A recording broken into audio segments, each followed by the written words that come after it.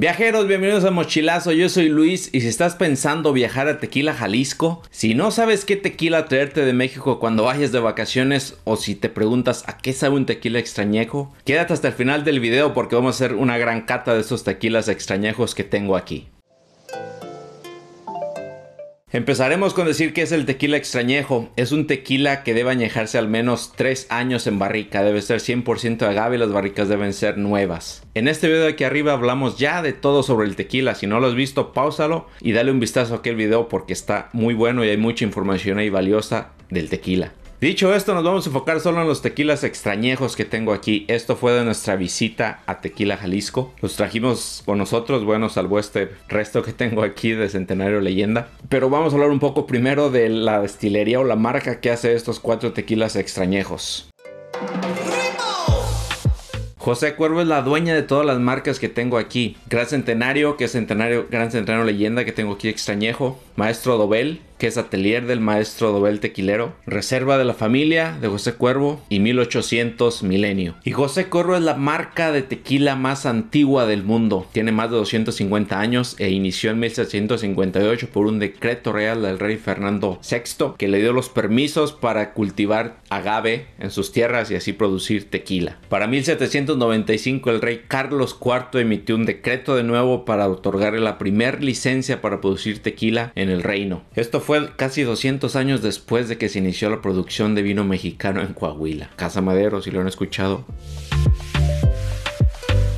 Dicho esto, iniciaremos con lo que es Reserva de la Familia José Cuervo, un tequila extrañejo que fue el primer extrañejo del mundo. Fue conmemorativo de los 200 años de la marca y nació en 1995. Se dice que este tequila era una cava secreta que tenía la familia Cuervo para quien nos visitaba, los más distinguidos personajes les invitaban, los bajaban con ellos a la cava les daban a probar este tequila. Si no han visto los videos que hicimos del viaje a Jalisco y a Nayarit, que aparecerán aquí arriba, bajamos a esa cava de José Cuervo y abrieron una barrica para nosotros donde pudimos catar el tequila directamente de la barrica. Una experiencia increíble. Si están en tequila, hagan ese tour. Bueno, y este tequila ganó doble medalla de oro en el concurso San Francisco World Spirits Competition. Y es pues un tequila de más de 95 puntos. Todos los que tengo aquí han ganado medallas en los concursos de spirits, de bebidas espirituosas. Y todos también son tequilas de al menos 95 puntos, o sea que esto es lo premium,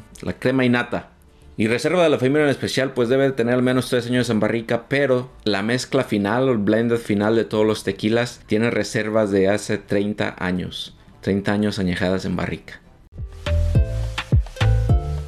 Hablemos ahora de 1800 milenio. 1800 fue el primer tequila premium del mundo. Tiene 200 años de su existencia y esa fecha 1800 fue conmemorativa de cuando se creó. Ese tequila después de que cumple su periodo para ser extrañejo es madurado en pequeños periodos en barricas de doble francés que fueron usadas previamente para añejar coñac. Este tequila es algo único. Es el único que usa barricas de coñac para terminar el tequila.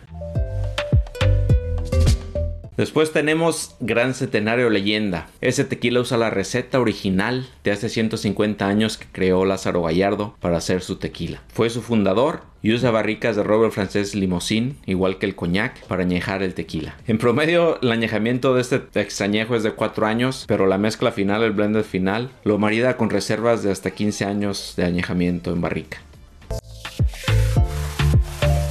El cuarto que tenemos es el atelier del maestro tequilero. Este tequila es incluso la marca. Es la línea artesanal, pero es una línea premium artesanal de lujo de José Cuervo. Esta, especialmente el maestro Atelier, hace homenaje a los grandes maestros oaxaqueños de arte. Cada botella que tengo aquí es una botella única pintada a mano de un maestro artesano de Oaxaca que asemeja o le rinde tributo a los alebrijes con la misma técnica de arte con la que se pinta. Es una producción limitada, tanto de su tequila extrañejo, también añejado en barricas de roble europeo, y solo se hacen 4000 botellas al año. Cada año la serie cambia y para este 2020 tengo esta hermosa botella de un cuervo. Recuerden, es producción limitada y esta botella es arte.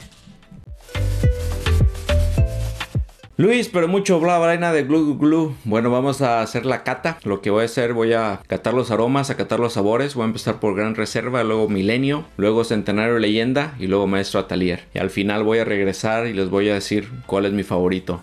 Recuerden que no, estos no son tequilas malos, no puedo decirte este es mejor que este otro, es depende de tu paladar. Ya en estos tequilas, en estos extrañejos, todo es lo premium que puedes obtener del tequila. La forma correcta de oler los aromas es que dejes un poco abierta tu boca para que los olores se vayan por, salgan por tu boca. Empezaré por el Reserva de la Familia.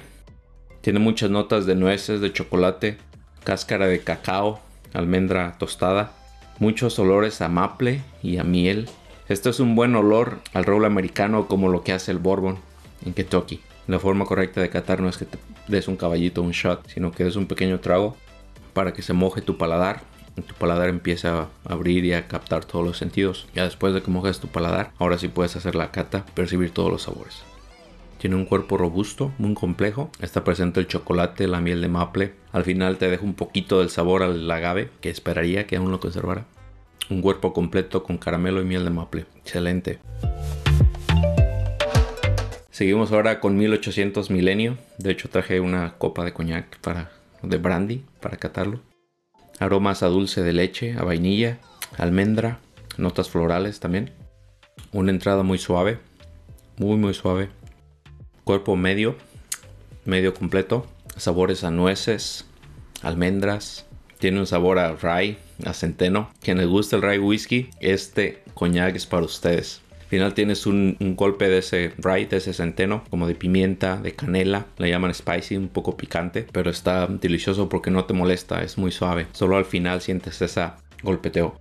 Mm, muy complejo el sabor. Chocolates también. Si no han visto el video de cómo añejar tu propio tequila, hicimos una cata también que metimos al Gran Patrón Piedra y me gustó más 1800 extrañejo que el Gran Patrón Piedra extrañejo. Denle un vistazo, la cata la hicimos hasta el final del video.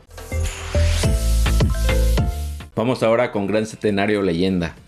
Notas de frutos secos, pera, manzana, aromas más como de otoño, poco de nueces también un cuerpo medio, medio ligero, muy diferente a estos dos que tengo aquí. Eso lo hace el roble, es lo que hacen los diferentes tipos de barrica. Este es roble francés. El roble francés tiende más a ser más vainilla, más cítrico, con un cuerpo medio y ligero sabores del clavo aún del tequila blanco. Al final te deja mucho sabor aún del tequila blanco, muy bueno. Yo creo que si vienes del, de los cristalinos, si te gustan los cristalinos añejos, este tequila extrañejo va a ser para ti, te va a encantar. También si tomas ron, creo que aquí vas a embonar perfectamente con ese tequila almendra, avellana, más crispy, más manzana, pera. O sea, lo vas a encontrar aquí poco de caramelo ligero. En los aromas puedes encontrar la barrica tostada del, roble francés, tanto en los aromas también y en los sabores.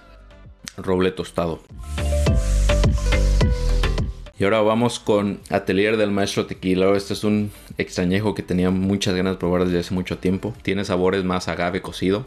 Conserva mucho de los sabores de la piña de agave cuando te la dan a probar que la sacan del horno, que está bien dulce. Tiene esos aromas. Caramelo, dulce de leche, poco de chocolate y almendra. Uf, muy suave, tiene un cuerpo medio, medio ligero, al igual que el Gran Centenario. Una transición completamente suave. Al final te deja poco el sabor el, del agave, que es lo que hace el agave. Entonces muy bien se mantiene ahí.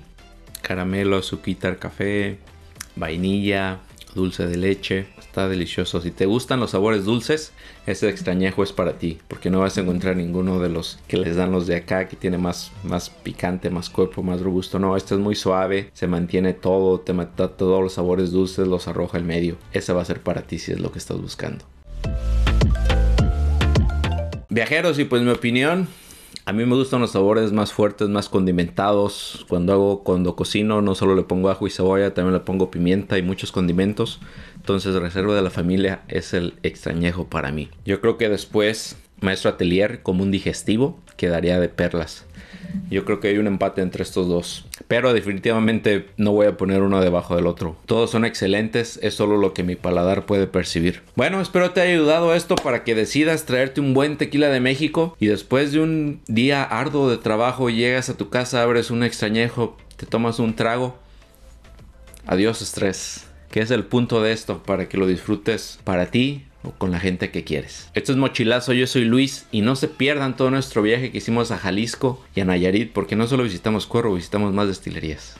Si les ha gustado esto, denos un like, compartan con un amigo para poder seguir creciendo y suscríbanse, es gratis. Los likes también son gratis y al canal ayuda muchísimo para poder crecer.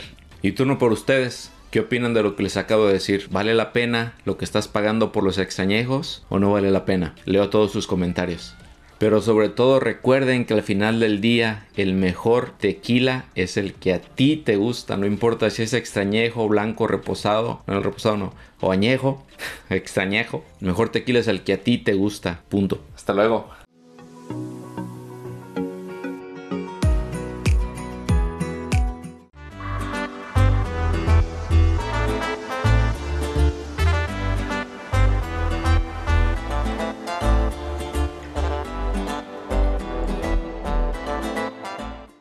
Viajeros, como siempre, muchas gracias por ver este video. Si no se han suscrito, suscríbanse al canal, den un like si les ha gustado y compartan con los viajeros a quienes pueda servir esta información.